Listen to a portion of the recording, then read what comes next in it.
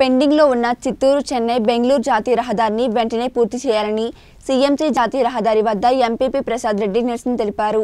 తెలుగుదేశం కాంట్రాక్టర్ల వల్ల నేడు ఈ రోడ్డు పరిస్థితి దాపురించిందన్నారు. మేరకు ఈరోజు ఈ యొక్క ధర్నా కార్యక్రమం నిరీక్షించిన నిరీక్షిస్తున్నామంటే ఈ యొక్క చిత్తూరు టు చెన్నై ఈ నేషనల్ హైవే రోడ్లో నాలుగేళ్ళ మునుపుగా ఈ తెలుగుదేశం ప్రభుత్వంలో ముగ్గురు కాంట్రాక్టర్లకు ఈ హైవే రోడ్ను సబ్ కాంట్రాక్ట్గా ఇచ్చారు. ఈ నాలుగేండ్లలో ఈ రోడ్డు పరిస్థితి ముందు బాగుండేది. ఈ బాగుండే రోడ్డుని ఈరోజు చిత్తూరుకు వెళ్ళాలంటే కూడా వన్ అవర్ పడుతుంది ఈ మధ్యలో కూడా మూడు నాలుగు ప్రాణాలు కూడా కోల్పోవడం జరిగింది. కాబట్టి ఈ యొక్క కాంట్రాక్టర్ని కంప్లీట్ చేసేదాకా కూడా ఈ యొక్క బిల్లును గవర్నమెంట్ మంజూరు చేయకూడదని ఈ యొక్క రహదారిని వినియోగ త్వరగా కంప్లీట్ చేయాలని మేము వైఎస్ఆర్సీపీ పార్టీ తరఫున డిమాండ్ చేస్తున్నాం.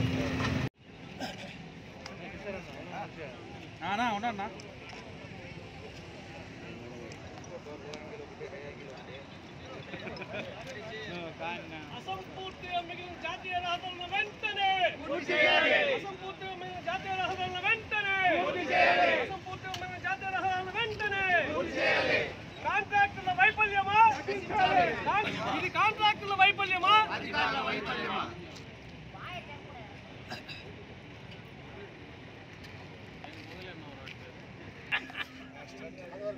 ఈరోజు ఈ యొక్క జాతీయ రహదారి రహదారి ఏదైతే ఉందో చెన్నై టు బెంగళూరు రెండు వేల పదిహేడులో ఈ యొక్క కాంట్రాక్టర్ దక్కించుకున్నటువంటి ఆనాటి అధికారంలో ఉన్నటువంటి కొంతమంది తెలుగుదేశం పార్టీ నాయకులు అధికారాన్ని అడ్డం పెట్టుకొని మా ప్రభుత్వంలో వచ్చినటువంటి ఈ కాంట్రాక్ట్ మాకే దక్కాలని చెప్పి వాళ్ళ వైఫల్యమో తెలియదు కానీ మన దురదృష్టం ఈరోజు గత గడిచిన నాలుగేళ్ళుగా ఈరోజు ఈ జాతీయ రహదారి మీద అనేక వందల వేల సంఖ్యలో ప్రయాణికులు వాహనాలు ప్రయాణిస్తున్నాయి. మన సిఎంసి పేరుగాంచిన ప్రముఖ వైద్యశాల సిఎం సిఎంసికి వచ్చేటువంటి రోగులు రోజు రోజుకి ఈ యొక్క రహదారి మీద రావాలంటే చాలా ఇబ్బందులు పడుతున్నారు. ఇది జాతీయ రహదారా లేక జంతువుల రహదారిగా ఉందో అర్థం కాలేదు ప్రజలకి. ఎందుకంటే కాంట్రాక్ట్ యొక్క పరిమితి ఏదైతే ఉందో పరిమితి లోపల చేయలేనప్పుడు ఆ యొక్క కాంట్రాక్ట్ని బ్లాక్ లిస్ట్లో పెట్టాలి. వాళ్ళకి నిధులు మంజూరు చేయకూడదు. ఇక్కడ సర్వీస్ రోడ్ అనేది కంపల్సరీ. ఈ సర్వీస్ రోడ్ లేకుండా జాతీయ రహదారిని ఇంప్లిమెంట్ చేసేటప్పుడు ఇక్కడ ఒక వైద్యశాల ఉన్నప్పుడు service road compulsory over bridge కావాలి. ఇది గతంలో కూడా ప్రపోజల్స్ పెట్టారు. అది ఎందుకో కానీ దాన్ని జాప్యం చేస్తున్నారు. కాబట్టి ఇది అధిక